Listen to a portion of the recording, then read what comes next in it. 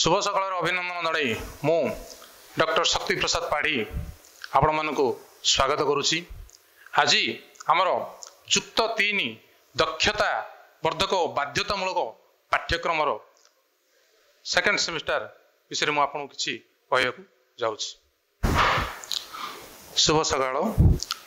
ଶୁଭ ସକାଳର ଅଭିନନ୍ଦନ ଜଣାଇ ଆପଣମାନଙ୍କୁ ଆଜି ଆରମ୍ଭ କରିବା ଯୁକ୍ତ ତିନି ସେକେଣ୍ଡ ସେମିଷ୍ଟାର ଯୋଗାଯୋଗର ଭାଷା। ସେଥିରେ ଆପଣଙ୍କର ଚାରୋଟି ଏକକ ଅଛି ବା ଚାରୋଟି ୟୁନିଟ୍ ଇଏ ହେଉଛି ଯୋଗାଯୋଗର ଭାଷା। ଏଇ ଚାରୋଟି ୟୁନିଟ୍ରେ ପ୍ରଥମ ଅଛି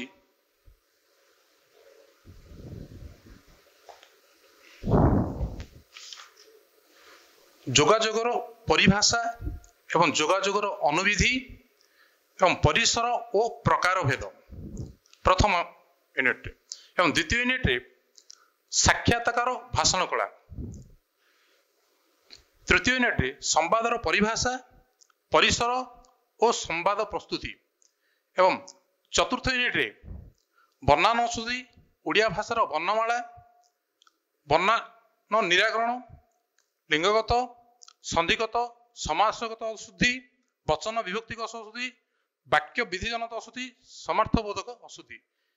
ଇଏ ହେଉଛି ଚାରୋଟି ୟୁନିଟ୍ ଏଇ ଚାରୋଟି ୟୁନିଟ୍ରୁ ପ୍ରଥମ ୟୁନିଟ୍ର ଯୋଗାଯୋଗର ପରିଭାଷା ଅନୁବିଧି ପରିସର ଓ ପ୍ରକାର ଭେଦକୁ ଆଜି ଆପଣମାନଙ୍କ ପାଖରେ ମୁଁ ଅଧ୍ୟୟନ କରିବାକୁ ଯାଉଛି। କିନ୍ତୁ ଏଇ ଚାରୋଟି ୟୁନିଟ୍କୁ ଆମର ଅଶୀ ମାର୍କରେ ବିଭାଗ କରାଯାଇଛି। ପ୍ରତ୍ୟେକ ୟୁନିଟ୍ରୁ କୋଡ଼ିଏ ମାର୍କ ଲେ ବିଭାଗ କରାଯାଇଛି। ତ ଏକ୍ଜାମ ସମୟରେ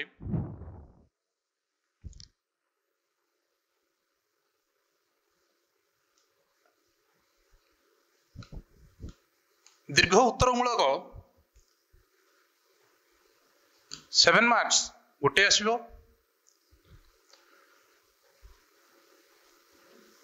সংক্ষিপ্ত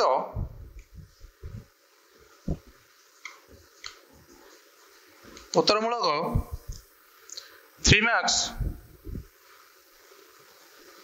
দুইটি আসব অতি সংক্ষিপ্ত ଉତ୍ତରମୂଳକ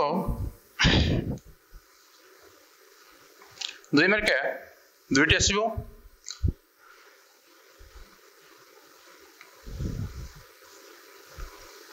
শূন্য স্থান পূরণ করো বা মাল্টিপল চয়েস এক মার্কিয়া তিনোটি আসব তো টোটাল আসলা କୋଡ଼ିଏ। ତ ପ୍ରଥମ ୟୁନିଟ୍ର କୋଡ଼ିଏ ମାର୍କ ଏହିପରି ଚାରି ଗୋଟି ୟୁନିଟ୍ର କୋଡ଼ିଏ କୋଡ଼ିଏ କୋଡ଼ିଏ ମାର୍କ ହେଲେ ଆସୁଛି ଆମର ଅଶୀ ମାର୍କ ଆଉ ଯେ ଆପଣଙ୍କର କୋଡ଼ିଏ ମାର୍କ ଅଛି ସେ ହେଉଛି ଇଣ୍ଟରନାଲ ମାର୍କ ଇଏ ଥିଲା ଆପଣଙ୍କର ମାର୍କ ଡିଷ୍ଟ୍ରିବ୍ୟୁସନ୍ ଯେଉଁଟାକି ଆମର ସିଲାବସ୍ ଅନୁସାରେ।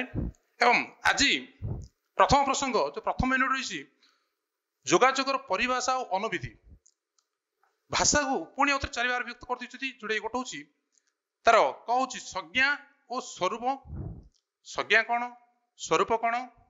ଖାଉଛି ଭାଷା ଚଳପ୍ରଚଳନର କ୍ଷେତ୍ର। ମାନେ କୋଉ କୋଉ କ୍ଷେତ୍ରରେ ଆମେ ଭାଷାକୁ ବ୍ୟବହାର କରିବା?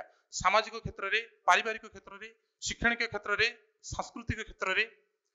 ପୁଣି ଗ ଭାଗର ଅଛି ଭାଷାର ଉପାଦାନ। ଏଇ ତିନୋଟି ବିଷୟକୁ ଆମେ ଚର୍ଚ୍ଚା କରିବା। ତ ପ୍ରଥମେ ହେଉଛି ଭାଷା କ'ଣ ଏବଂ ତାର ସଂଜ୍ଞା କ'ଣ? ସ୍ୱରୂପ କ'ଣ? ଭାଷା ସାଧାରଣତଃ କହିବାକୁ ଗଲେ ବ୍ୟୁତ୍ପତ୍ତିଗତ ଅର୍ଥ ହେଉଛି ଯାହା କୁହାଯାଏ ବା ଆମେ ଯାହା କହୁ। ନିଜର ମନର ଭାବକୁ ପରିପ୍ରକାଶ କରିବା ଅଭିବ୍ୟକ୍ତ କରିବାକୁ ଭାଷା ବୋଲି କୁହାଯାଏ। ଏଇ ଭାଷା ଭାବ ପ୍ରକାଶର ଶ୍ରେଷ୍ଠ ମାଧ୍ୟମ ହେଉଛି ଭାଷା। ନିଜର ମନର ଭାବକୁ ଆମେ ପରିପ୍ରକାଶ କରିବା ପାଇଁ ଭାଷାର ଆମେ ସାହାଯ୍ୟ ନେଇଥାଉ। ବିନା ଭାଷାରେ କେବେ ମଧ୍ୟ ମନର ଭାବକୁ ପରିପ୍ରକାଶ କରିହୁଏ ନାହିଁ। ଭାଷ ଧାତୁରୁ ଆ ହୋଇ ଭାଷା ଆସିଅଛି। ଏବଂ ଏହାର ବିପ୍ତତିଗତ ଅର୍ଥ ଯାହା ମୁଁ ପୂର୍ବରୁ କହିଥିଲି ଯାହା କୁହାଯାଏ ଆମେ ଯାହା କହୁ। ତେଣୁ ସ୍ଥୂଳ ଭାବରେ କହିବାକୁ ଗଲେ ମୁଖ ନିଃସୃତ ବଚନ ହେଉଛି ଭାଷା। ଅର୍ଥାତ୍ ମୁହଁରୁ ଆମେ ଯାହା କହିଥାଉ। ପ୍ରକୃତ ଗତେ ମାନବର ଚିନ୍ତା ଶକ୍ତି ଅଭିବ୍ୟକ୍ତି ବ୍ୟାପକ ଅନୁବନ୍ଧ ହେଉଛି ଭାଷା। ଆମେ ଯାହା ଚିନ୍ତା କରୁ ଆମେ ଯାହା ଲୋକମାନଙ୍କର କହୁ ଏଇ ସବୁକୁ ଅନୁବନ୍ଧନ କରିବା ଯୋଗାଯୋଗ କରିବାକୁ ମୂଳ ସୋପାନ ହେଉଛି ଭାଷା। ଭାଷା ନଥିଲେ କେବେ ହେଲେ ମଧ୍ୟ ଆମର ମନର ଭାବକୁ ପ୍ରକାଶ କରିହେବ ନାହିଁ। ଏବଂ ଇଂରାଜୀରେ ଏହା ହେଉଛି ଗୋଟେ ଲାଙ୍ଗୁଏଜ ଯାହାକି ଗ୍ରୀକ ଲୋଗୋସ୍ ଶବ୍ଦରୁ ଆସିଥିବା ବିଦ୍ୱାନ ମାନେ ସ୍ୱୀକାର କରନ୍ତି। କେତେକ ମତରେ ଭାଷାର ମୂଳତଃ ଚିନ୍ତା ଶକ୍ତି ଉପରେ ନିର୍ଭର କରେ। ଯେତେବେଳେ ଆମେ ଯୋଉ ଜିନିଷ ଯୋଉ କଥା ଆମେ କହୁ ଚିନ୍ତା ଶକ୍ତି ଚିନ୍ତା କରି ହିଁ ଆମେ କହିବାକୁ ପଡିବ ତା ପାଇଁ ଆମକୁ ଭାଷାର ସଂଯୋଜନ ଦରକାର। ଚିନ୍ତା ବିନା ଭାଷାର ଅସ୍ତିତ୍ୱ ପରିକଳ୍ପନା କରିହେବ ନାହିଁ। ଏବଂ ଭାଷା ଭାବ ବିନିମୟର ସୁସ୍ଥ ସୁନ୍ଦର ସୁବର୍ଣ୍ଣ ସଂଯୋଗ ହେତୁ ଏଇ ଯୋଉ ଭାଷା ଭାବ ବିନିମୟର ପରସ୍ପର ଲୋକମାନଙ୍କ ସହିତ କଥାବାର୍ତ୍ତା ହେବା ନିଜର ମନର ଭାବକୁ ଆଦାନ ପ୍ରଦାନ କରିବା ପାଇଁ ହେଉଛି ଭାଷା ହେଉଛି ଗୋଟେ ସେତୁ ସମ୍ପର୍କ ଭଳି ଏବଂ କେତେକ ପଶୁ ପକ୍ଷୀ ମାନେ ନିଜର ଧ୍ୱନି ମାଧ୍ୟମରେ ନିଜର କ୍ଷୁଧା ତୃଷାଦି ପ୍ରତିକ୍ରିୟା ଜଣାଇଥାନ୍ତି ମାତ୍ର ଏହାକୁ ଆମେ ଭାଷା ବୋଲି କହିପାରିବା ନାହିଁ କାହିଁକି ନା ଏଇ ଧ୍ୱନି ଅନ୍ତରାଳରେ କୌଣସି ଚିନ୍ତା ଶକ୍ତି ପ୍ରକାଶ ପାଇନଥାଏ ସେଇ ପଶୁ ପକ୍ଷୀ ମାନେ ନିଜର ଧ୍ୱନି କରିଥାନ୍ତି କିନ୍ତୁ ସେମାନଙ୍କର କୌଣସି ପ୍ରକାର ଭାବ ବା ଚିନ୍ତା ଶକ୍ତି ଆସିନଥାଏ। କିନ୍ତୁ ମଣିଷ ମାନେ ଯେତେବେଳେ କଥା କହିଥାନ୍ତି ସେହି ସମୟରେ ସେମାନଙ୍କ ଚିନ୍ତା ଶକ୍ତିର ମନର ଭାବ ମଧ୍ୟ ଆଦାନ ପ୍ରଦାନ ହୋଇଥାଏ।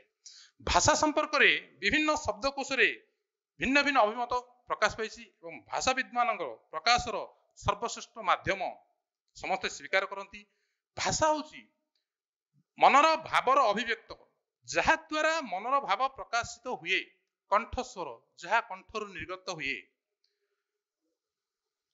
ଆକାର ଇଙ୍ଗିତ ପ୍ରଭୃତି ଏଇ ଅର୍ଥରେ ଭାଷାର ଭାବ ଗଣ୍ୟ। ଯିଏ କହିଛନ୍ତି ଗୋପାଳ ଚନ୍ଦ୍ର ପ୍ରହରାଜ ଏବଂ ପଣ୍ଡିତ ଗୋପୀନାଥ ନନ୍ଦ ଶର୍ମା କହିଛନ୍ତି ଭାଷା ହଉଛି ଅର୍ଥଯୁକ୍ତ ଉଚ୍ଚାରିତ ଶବ୍ଦ। ଯାହା ଦ୍ୱାରା ଲୋକେ କଥାବାର୍ତ୍ତା ହୁଅନ୍ତି। ଗୋପାଳ ଚିତ୍ର ଯାହା ଦ୍ୱାରା ଲୋକମାନେ ଯୋଉ କଥାବାର୍ତ୍ତା ହୁଅନ୍ତି ତାକୁ ଭାଷା ବୋଲି କୁହାଯାଏ। ଇଏ ହଉଛି ଗୋପାଳ ଚନ୍ଦ୍ର ପ୍ରହରାଜଙ୍କର ମତ। ଏବଂ ଭାଷା ଭାବର ଶାବ୍ଦିକ ପରିପ୍ରକାଶ ମନୋଭାବ ପ୍ରକାଶର ବ୍ୟବହୃତ ଶବ୍ଦାବଳୀ ଓ ତାହାର ପ୍ରୟୋଗ ରୀତି ଭାବ ପ୍ରକାଶକ ସଂକେତ ବଚନ ଉକ୍ତି ସରସ୍ୱତୀ କଥିତ ଭାଷାର ଉଚ୍ଚାରିତ ଶବ୍ଦ। ୟାକୁ ମାନିଛନ୍ତି ପଣ୍ଡିତ କୃଷ୍ଣଚନ୍ଦ୍ର କର ଏଇ ଯୋଉ ଭାଷାର ପରିପ୍ରକାଶ ଏବଂ ମନୋଭାବକୁ ପ୍ରକାଶରେ ବ୍ୟବହୃତ ଶବ୍ଦାବଳୀକୁ। ପଣ୍ଡିତ ଚନ୍ଦ୍ରଶେଖର ପତି ଯିଏକି ଓଡ଼ିଆ ଭାଷା ଓ ବ୍ୟାକରଣ ରଚନା କରିଛନ୍ତି ସେଥିରେ ସେ କହିଛନ୍ତି ମାନବ ଯାହା ଦ୍ୱାରା ନିଜର ମନର ଭାବ ଅନ୍ୟର ବୋଧଗମ୍ୟ କରାଇପାରେ ମନୁଷ୍ୟ ନିଜର ମନର ଭାବକୁ ଅନ୍ୟକୁ ଯେତେବେଳେ ସେ ବୋଧଗମ୍ୟ କରାଇପାରେ ଅର୍ଥାତ୍ ବୁଝେଇ ଦେଇପାରେ ତାହା ହିଁ ହଉଛି ଭାଷା। ଭାଷା ଦ୍ୱାରା ମନର ଭାବ ପ୍ରକାଶ ପାଏ ଭାଷା ବିନା ଭାଷା ନହିଁ। ଅର୍ଥାତ୍ ମନୁଷ୍ୟର ବାକ୍ ଶକ୍ତି ହିଁ ଭାଷାର ଉଦ୍ଭାବକ। ବାକ୍ ଶକ୍ତି ଅର୍ଥାତ୍ ଆମେ ଯାହା କହୁ। ୟାକୁ କହିଛନ୍ତି ପଣ୍ଡିତ ଚନ୍ଦ୍ରଶେଖର ପତି। ଏବଂ ନଟବର ଶତପଥୀ ଭାବ ବିନିମୟର ମାଧ୍ୟମ କଥା ଭାରତୀ ବାକ୍ବ୍ରାହ୍ମୀ ବାହକ ପ୍ରକାଶକ। ୟାକୁ ନଟବର ଶତପଥୀ କହିଛନ୍ତି ଶବ୍ଦ ସିନ୍ଧୁ ଦ୍ୱିତୀୟ ଖଣ୍ଡରେ। ଏବଂ ପଣ୍ଡିତ କୁଳମଣି ଦାସ ସରଳ ଓଡ଼ିଆ ଅଭିଧାନରେ ତାଙ୍କ ମତରେ ଭାଷାର ଅର୍ଥ ହେଉଛି କଥନ କହିବା ଏବଂ ଚିଠିପତ୍ର। ଯିଏକି ପଣ୍ଡିତ କୁଳମଣି ଦାସ ଭାଷାକୁ ଏହିପରି ଭାବରେ ବ୍ୟକ୍ତ କରିଛନ୍ତି। କେବଳ ବାକ୍ ଶକ୍ତି ଥିବାରୁ ମଣିଷ ଅନ୍ୟାନ୍ୟ ପଶୁପକ୍ଷୀଙ୍କ ଠାରୁ ପୃଥକ। ଏହା କହିଲେ ଅତ୍ୟୁକ୍ତି ହବ ନାହିଁ। କାହିଁକିନା ସମାଜରେ ଯେତେ ସବୁ ଜୀବଜଗତ ସବୁ ଅଛନ୍ତି ସେଥିରେ ମଣିଷ ହେଉଛି ଶ୍ରେଷ୍ଠ। କାହିଁକି ନା ମଣିଷର ବୁଝିବାର କ୍ଷମତା ଅଛି କହିବାର ମଧ୍ୟ କ୍ଷମତା ଅଛି ଅନ୍ୟମାନଙ୍କର କହିବାର କ୍ଷମତା ନାହିଁ ସେମାନଙ୍କର ଧ୍ୱନି ଅଛି କିନ୍ତୁ ଧ୍ୱନି ମାଧ୍ୟମରେ କୌଣସି ପ୍ରକାର ମନର ଭାବ ପରିପ୍ରକାଶ ହୋଇପାରେ ନାହିଁ। ପଶୁପକ୍ଷୀ ମାନେ ହୁଏତ ଧ୍ୱନି ସୃଷ୍ଟି କରନ୍ତି କିନ୍ତୁ ତାହା ଭାଷା ନୁହେଁ। ସେମାନଙ୍କର ଧ୍ୱନି ଏହି ଅନ୍ତରାଳରେ କୌଣସି ଚିନ୍ତନ ଅଥବା ବୌଦ୍ଧିକ ବିଚାର ନଥାଏ। ସେଇ ପଶୁପକ୍ଷୀ ମାନଙ୍କର ଧ୍ୱନିରେ କୌଣସି ଚିନ୍ତନ ଶକ୍ତି ନାହିଁ କୌଣସି ବୁଝିବାର ଶକ୍ତି ମଧ୍ୟ ନଥାଏ। ତେଣୁ ସେମାନଙ୍କ ଧ୍ୱନି ନିରର୍ଥକ। କେବଳ ମଣିଷର ଧ୍ୱନି ଅର୍ଥଯୁକ୍ତ। ମଣିଷ ଯାହା କହିଥାଏ ସେ ଧ୍ୱନିର କିଛି ଅର୍ଥ ବି ଥାଏ। ଅର୍ଥପୂର୍ଣ୍ଣ ଧ୍ୱନି ହେଉଛି ଶବ୍ଦ। ଯାହା ଭାଷାର ମୂଳ ସୋପାନ। ଗ୍ରୀକ ମାନଙ୍କ ମତରେ ମଣିଷର ବାକ୍ ଶକ୍ତି ହେଉଛି ଲୋଗୋସ୍ ଗ୍ରୀକ ମାନଙ୍କ ମତରେ ଯାହାର ଅର୍ଥ ହେଉଛି ଚିନ୍ତା ଶକ୍ତି। ମନୁଷ୍ୟର ଚିନ୍ତା କରିବାର ଶକ୍ତି ବୋଲି କିଛି ଥାଏ। ତେଣୁ ମଣିଷର ବାକ୍ ଶକ୍ତି ସହିତ ଚିନ୍ତା ଶକ୍ତି ଥିବା ପ୍ରସଙ୍ଗ ଏଥିରୁ ସହଜରେ ବୁଝାପଡ଼େ। ତେଣୁ ମଣିଷ ବାକ୍ ଶକ୍ତି ଅର୍ଥାତ୍ କହିବା ଶକ୍ତି ସହିତ ଚିନ୍ତା ଶକ୍ତି ମଧ୍ୟ ଥାଏ। ଚିନ୍ତା କରି ମଣିଷ ସବୁବେଳେ ବଚନ ପ୍ରଦାନ କରିଥାଏ। ବାକ୍ ଶକ୍ତି ଥିବାରୁ ଏହାକୁ ଜଣେ ଉଚ୍ଚାରଣ କରେ ଏବଂ ଜଣେ ଶୁଣେ ଏବଂ ଶୁଣୁଥିବା ମଣିଷ ବକ୍ତାର ମନୋଭାବକୁ ମଧ୍ୟ ବୁଝିପାରେ। ଯୋଉ ଲୋକଟି ଶୁଣିଥାଏ ବକ୍ତା ଯାହା କହୁଥାଏ ତାହାର ମନୋଭାବକୁ ବୁଝିବାକୁ ମଧ୍ୟ ସେ ସମର୍ଥ ହୋଇପାରେ। ଅଞ୍ଚଳ ବିଷୟରେ ଭାବାର ଭାଷାର ଅବବୋଧ ବିଭିନ୍ନ ହୋଇଥାଏ। ତେଣୁ ଏକ ଭାଷାଭାଷୀ ଲୋକେ ଗୋଟିଏ ବସ୍ତୁ ବା ବିଷୟକୁ କେବଳ ଗୋଟିଏ ନାମରେ ହିଁ ଚିହ୍ନଟ କରନ୍ତି। ହାତ କହିଲେ ରାମ ଯାହା ବୁଝେ ଶ୍ୟାମ ମଧ୍ୟ ତାହା ବୁଝେ। ମାତ୍ର ପ୍ରତି ମଣିଷ ନିଜ ଇଚ୍ଛା ଅନୁଯାୟୀ ନାମକରଣ କଲେ କେହି କାହାର କଥା ବୁଝିପାରିବେ ନାହିଁ। କୌଣସି ନିର୍ଦ୍ଦିଷ୍ଟ ଅଞ୍ଚଳର ଏକ ସାଂସ୍କୃତିକ ସମ୍ପନ୍ନ ଅଧିବାସୀ ମାନଙ୍କର ବ୍ୟବହୃତ ଭାଷା ଅନ୍ୟମାନଙ୍କ ଠାରୁ ପୃଥକ ହୋଇଥାଏ। ଏହା ହୋଇନଥିଲେ ସାରା ପୃଥିବୀର ଲୋକେ କେବଳ ଗୋଟିଏ ହିଁ କହୁଥାନ୍ତେ ଲେଖୁଥାନ୍ତେ ବୁଝୁଥାନ୍ତେ ଓ ବ୍ୟବହାର ମଧ୍ୟ କରୁଥାନ୍ତେ। ତେଣୁ ଭୌଗୋଳିକ ଅବସ୍ଥିତି ଓ ସାଂସ୍କୃତିକ ପରିସ୍ଥିତି ଦୃଷ୍ଟିରୁ ସାରା ବିଶ୍ୱରେ ବିଭିନ୍ନ ପ୍ରକାର ଭାଷା ପରିବାର ଦେଖାଯାଏ। ଆମର ବିଶ୍ୱରେ ଯେତେ ପ୍ରକାର ସବୁ ଲୋକମାନେ ଅଛନ୍ତି ସାଂସ୍କୃତିକ ଦୃଷ୍ଟିରୁ ଅବସ୍ଥିତି ଦୃଷ୍ଟିରୁ ଭାଷା ସମସ୍ତଙ୍କର ଅଲଗା ଅଲଗା। ତନ୍ମଧ୍ୟରୁ ଓଡ଼ିଆ ଭାଷା ହଉଛି ସବୁଠାରୁ ପ୍ରାଚୀନ ଭାଷା ଅନ୍ୟତମ ଭାଷା ଯିଏକି ସଂସ୍କୃତ ଭାଷାରୁ ତାହା ଆସିଅଛି।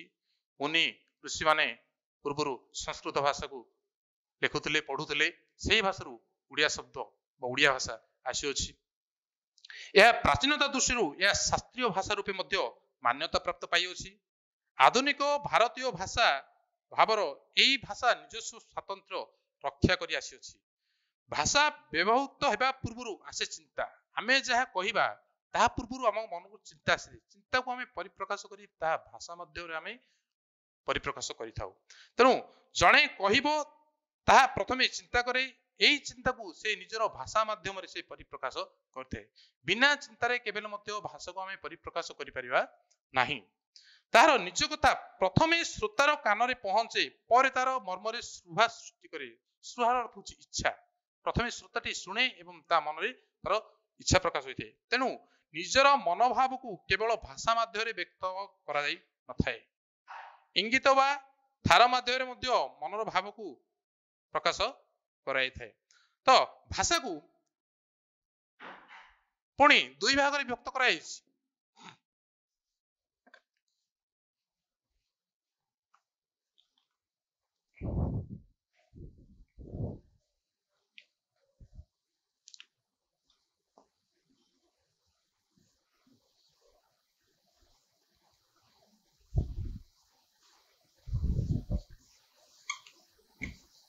কথিত ভাষা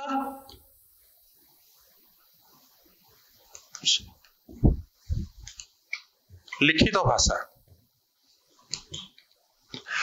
প্রথম হচ্ছে গোটে কথিত ভাষা যা কহু এবং দ্বিতীয় হচ্ছে পুঁ লিখিত ভাষা। যা আমি লেখু। পুঁ সেই কথিত ভাষাকু এবং লিখিত ভাষাকু পুঁ দুই ভাগে গোটে হচ্ছে বক্তা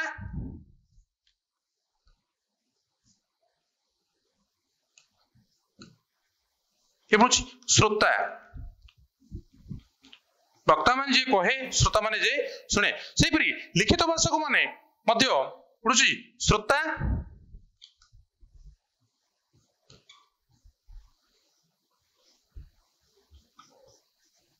ପାଠକ ବା ବକ୍ତା ଯିଏ ପଢେ ଏବଂ ଯିଏ କହେ ସେଇ ପ୍ରକାର ଭାଷା ଗୋଟେ କଥିତ ଭାଷା ପୁଣି ଲିଖିତ ଭାଷା ସେଇ କଥିତ ଭାଷା ବକ୍ତା ଅର୍ଥାତ୍ ଯିଏ କହେ ଶ୍ରୋତା ଯିଏ ଶୁଣେ ସେମିତି ଲିଖିତ ଭାଷା ମଧ୍ୟ ବକ୍ତା ପାଠକ ବା ଶ୍ରୋତା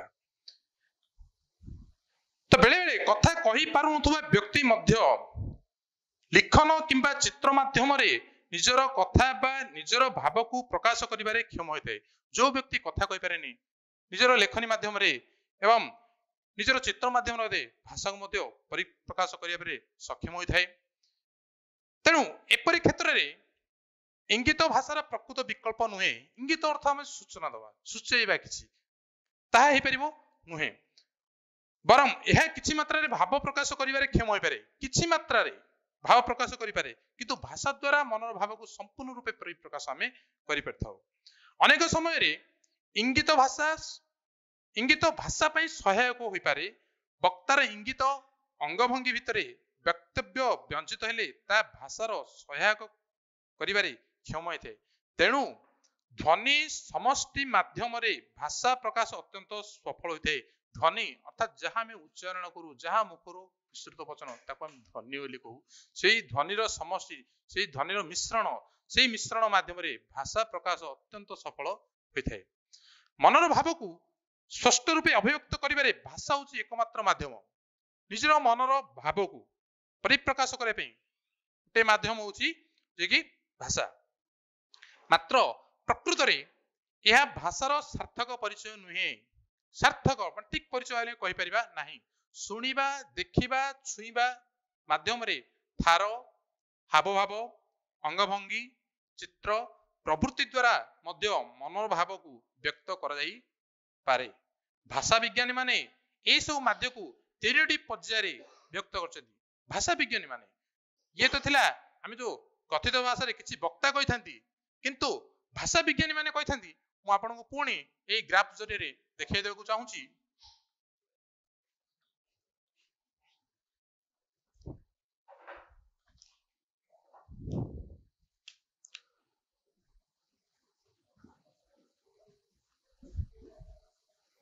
ଯେ କି ଭାଷା ବିଜ୍ଞାନୀ ମାନେ କହିଛନ୍ତି ଗୋଟେ ହଉଛି ଶ୍ରବଣେନ୍ଦ୍ରିୟ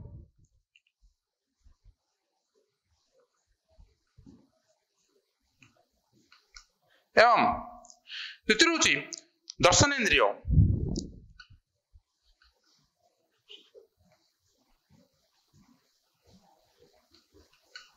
ୟାକୁ ଭାଷା ବିଜ୍ଞାନୀ ମାନେ କହିଥାନ୍ତି ଗୋଟେ ହଉଛି ଶ୍ରବଣେନ୍ଦ୍ରିୟ ଆଉ ଗୋଟେ ହଉଛି ଦର୍ଶନେନ୍ଦ୍ରିୟ ପୁଣି ସେଇ ଶ୍ରବଣେନ୍ଦ୍ରିୟ ଦର୍ଶନେନ୍ଦ୍ରିୟ ଏ ମଝିରେ ପୁଣି ଗୋଟେ ଅଛି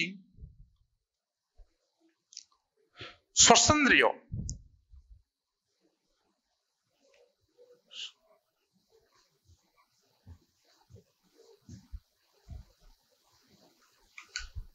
ତ ଏଇଭାବେ ତିନି ଭାଗରେ କରୁଛନ୍ତି ଗୋଟେ ହଉଛି ଶ୍ରବଣେନ୍ଦ୍ରିୟ ଦର୍ଶନେନ୍ଦ୍ରିୟ ଏବଂ ସ୍ପର୍ଶେନ୍ଦ୍ରିୟ ଏବଂ ଏହି ଦ୍ଵାରା ମାତ୍ର ଏହି ପ୍ରକ୍ରିୟାରେ ଭାଷଣ ଅବୟବ ଦ୍ୱାରା ଉଚ୍ଚାରିତ ଧ୍ୱନି ନୁହନ୍ତି ତେଣୁ କେତେକ ଭାଷା ବିଜ୍ଞାନୀ ଏହାକୁ ଭାଷା ଭାବରେ ଅନୁମୋଦନ କରନ୍ତି ନାହିଁ ଭାଷା ବିଜ୍ଞାନୀ ମାନେ ଏହାକୁ ଭାଷା ବୋଲି ଅନୁମୋଦନ କରି ନଥାନ୍ତି ସେମାନଙ୍କ ଯୁକ୍ତି ହେଉଛି ମଣିଷର ଉଚ୍ଚାରଣ କ୍ଷମ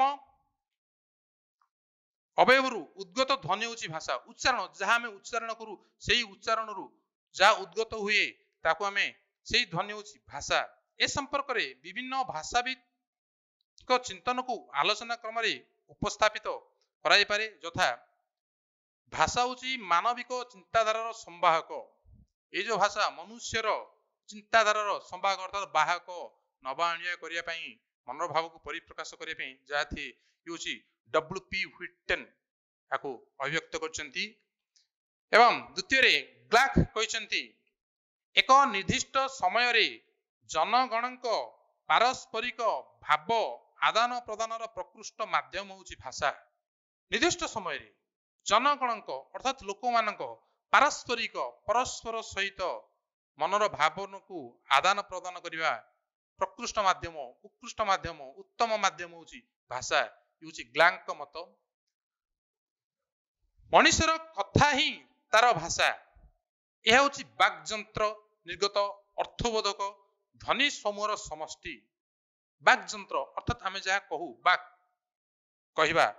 ଅର୍ଥବୋଧକ ଯାହା ଆମର ଅର୍ଥ ଆସେ ଏଇ ସବୁ ଧ୍ୱନି ମାନଙ୍କର ସମଷ୍ଟି ଯାହା ଦ୍ୱାରା ମଣିଷର ଚିନ୍ତନ ଅନୁଭବ ବ୍ୟକ୍ତ ହୁଏ।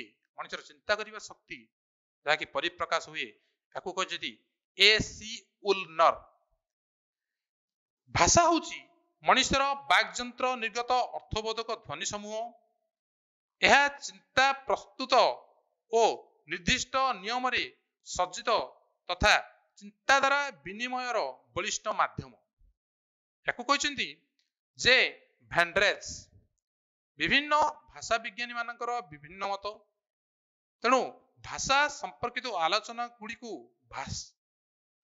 ଭାଷା ବିଜ୍ଞାନ ଓ ଭାଷା ତତ୍ତ୍ୱ ଉଭୟର ଆବଶ୍ୟକତା ରହିଛି। ଇଂରାଜୀରେ ଏଥିପାଇଁ ଫିଲୋଲୋଜି ଓ ଲିଙ୍ଗୁଇଷ୍ଟିକ ଏହିପରି ପ୍ରତିଶବ୍ଦ ରହିଛି ଏବଂ ଆମେରିକାରେ ଲିଖିତ ଭାଷାର ବ୍ୟାଖ୍ୟା ଭାଷା ବିଜ୍ଞାନ ଓ ବାଚିକ ଭାଷାର ଅଧ୍ୟୟନ ଭାଷା ତତ୍ତ୍ୱ ଯୋଉଟାକି ଲିଙ୍ଗୁଇଷ୍ଟିକ ରୂପେ ପରିଚିତ। ମାତ୍ର ଭାଷା ବିଜ୍ଞାନ ବା ଭାଷା ତତ୍ତ୍ୱ ଉଭୟର ଆଲୋଚନା ବିଭିନ୍ନ ପ୍ରକାରରେ ହୋଇଥାଏ। ତ ଭାଷା ତତ୍ତ୍ୱ ବା ଭାଷା ବିଜ୍ଞାନ ମାନଙ୍କ ମଧ୍ୟରେ କିଛି କହିଛନ୍ତି ଗୋଟେ ହେଉଛି ଐତିହାସିକ ଭାଷା ବିଜ୍ଞାନ ଦ୍ୱିତୀୟ ହେଉଛି ତୁଳନାତ୍ମକ ଭାଷା ବିଜ୍ଞାନ ତୃତୀୟ ହେଉଛି ବର୍ଣ୍ଣନାତ୍ମକ ଭାଷା ବିଜ୍ଞାନ ଏବଂ ଚତୁର୍ଥ ହେଉଛି ସଂରଚନାତ୍ମକ ଭାଷା ବିଜ୍ଞାନ ଏବଂ ପଞ୍ଚମ ହେଉଛି ମନୋଭାଷା ବିଜ୍ଞାନ ଏବଂ ଛଅ ନମ୍ବର ହେଉଛି ସାମାଜିକ ଭାଷା ବିଜ୍ଞାନ ତ ଏଥିରେ ହେଉଛି ଐତିହାସିକ ଭାଷା ବିଜ୍ଞାନ ଯୋଉଟାକି ହିଷ୍ଟୋରିକାଲ ଲିଙ୍ଗୁଇଷ୍ଟିକ ଏଥିରେ ଯେ କୌଣସି ଭାଷାର କାଳଗତ ଧାରାବାହିକ ପରିବର୍ତ୍ତନର ଇତିହାସ ଆଲୋଚିତ ହୋଇଥାଏ ହିଷ୍ଟୋରିକାଲ ଲିଙ୍ଗୁଇଷ୍ଟିକ ଏଥିରେ ଭାଷା ପରିବାରର ମୂଳ ଭାଷା ଅଧ୍ୟୟନ କରିବାକୁ ପଡେ। ଏପରି ଅଧ୍ୟୟନ ଦ୍ୱାରା ଭାଷାର ରୂପ ଧ୍ୱନି ଓ ଅର୍ଥ ପରିବର୍ତ୍ତନ ସହିତ ପାରିବାରିକ ଓ ଆକୃତିଗତ ବର୍ଗୀକରଣ ଉପରେ ଗୁରୁତ୍ୱ ଆରୋପିତ ହୋଇଥାଏ। ଯୋଉ ଭାଷାକୁ ଆମେ କହୁ ତାହା କାଳଗତ ଏବଂ ଧାରାବାହିକ ପରିବର୍ତ୍ତନ ଇତିହାସ ଆଲୋଚିତ ହୋଇଥାଏ।